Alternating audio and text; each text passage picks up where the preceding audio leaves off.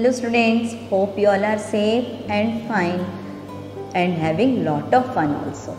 So we were discussing about the chapter fun we have where we have discussed about the different games that we play, the different exercises that we should do.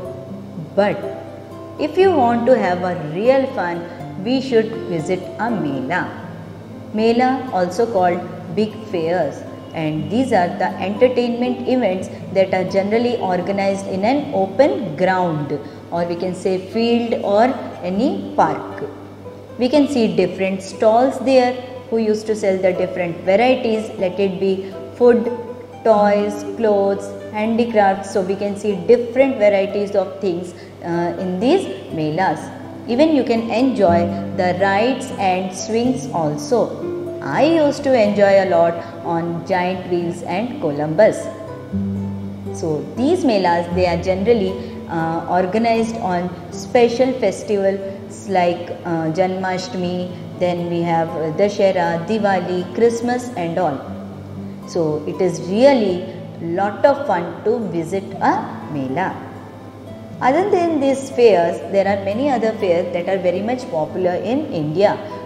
If you see, uh, like fairs like cattle fairs where they used to uh, uh, they used to uh, decorate their cattles like cows and all and they used to gather in large uh, amount from different villages. So people from different villages they used to gather in a big area with their beautiful decorated cows and all. So they are called cattle fairs. Then we have trade fairs where they used to sell different things. And then religious fairs. So some religious festivals like eid and all we can see different melas.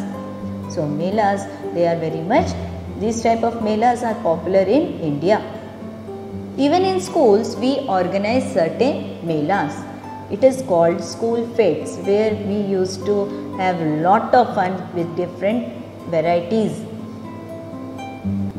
Other than the school, even the places where these melas are very much famous, they are Pushkar in Rajasthan and Meerut in Uttar Pradesh. In these places, the melas they used to organize on a large scale and they are very very popular in those days and till now they are following the trend and they are maintaining and uh, arranging these melas on a large amount and lot of people used to visit these melas regularly so melas they are really very entertaining events and they again give us lot of fun other than Mela, I like to visit circus also. Circus, it consists of group of entertainers and some trained animals. They are generally organized in a big tent again in an open ground or a field or park anywhere. So the uh, this circus they consist of they contains lot of performers and these performers are very skilled and with their amusing acts amusing performances they uh, make us to have lot of fun they entertain us and we used to enjoy and they are very skilled and trained. When we go into a uh, circus we have to first purchase a ticket. Then we can enter into that large tent that is very colorful and fully decorated with beautiful colorful lights. When we go inside we can see the sitting arrangement made for the people to sit we can sit anywhere of our choice. When it is full of people then the show starts. So first the ringmaster enters. And before that we used to wait for them. We feel so eager so enthusiastic to see them. And when we see the ringmaster we feel very happy. So the ringmaster wearing beautiful colorful bright clothes enters and uh, welcomes the audience. Audience means we we the people who are watching the show or any program or any music show or we can say any tv so we are the audience. So these ringmaster uh, uh, welcomes the audience. Along with the ringmaster then enters the acrobats acrobats the jugglers and the clowns the acrobats they jump and they perform the different acts like different gymnastic acts. So gymnastics and all they perform. So like if you see somersault where we they used to rotate like a circle. So full 360 degree. So these type of dangerous acts they used to perform. But children they are trained people and they have done lot of practice same way if you see the jugglers what they do they used to toss the rings and balls and all in the air. So two in air one in hand. So they used to catch like this. That we can't do. It's very risky uh, because we are not trained we are not expertised. And they they used to do these things daily regularly. So the tra- training is required the practice is required so they can only perform that now clown Yes. Do you know who is a clown?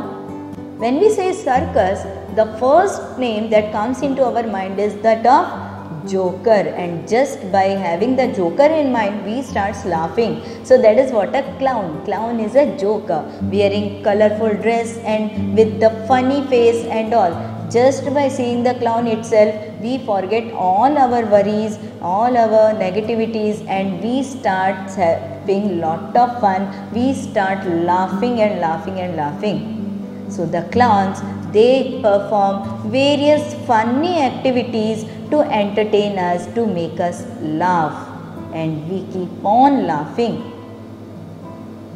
Then we can see the different animals like elephants and lions performing various acts and they are well trained, tamed, right? So the ringmaster he gives them the instructions and these animals they follow them.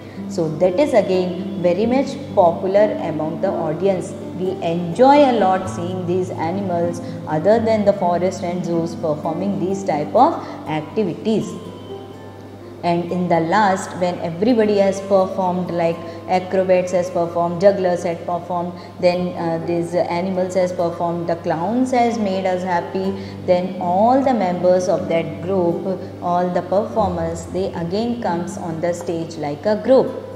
And we cheer them with our claps. We encourage them. We say thank you to them. We feel so happy that we keep on clapping and clapping so that uh, we can show our gratitude towards them, towards their hard work. So students, we should understand that these people, they do lot of hard work to perform in front of us and they are again taking their life also into risk. So we should always appreciate their hard work with our claps. We should encourage them. We should have fun to see all these activities but we should never try these as they can be dangerous because it needs some guidance training and certain practice. So we can't do. So what is our part? We should go to a circus. We should watch them doing this. We should clap for them. We should feel happy for them and come back. That's all. So never try these things on your own. So students what have you observed while having fun only, we learn many things. We have learned that we should play the games in a proper manner. We have learned we should not fight with each other. We should include everybody in the game. We should be friend to everyone. Not only this, we should be not be cruel to the animals. Nowadays, even the government has banned the use of the animals in the circus, and nowadays you can find very few circus here and there. Mostly in the villages, you can still find, but in cities, uh, we can see very few. But still, some animals are still used in some of the circus, uh, but government is strict against this but whatever it is we should be not cruel to the animals. We should be like their friends. We should care for them. We should love them. So, students, animals are also a living thing and we should not be cruel to any of the animal whether it is in the circus or it is around us. So we should not be cruel to any animal. No animal will harm us until and unless we harm them. So we should be very polite to these animals. We should be very lovely loving and caring to these animals so students we have seen that having fun is not that much simple. It is very learning also. So while having fun we learn many things. So keep learning do have fun and have a nice day. Bye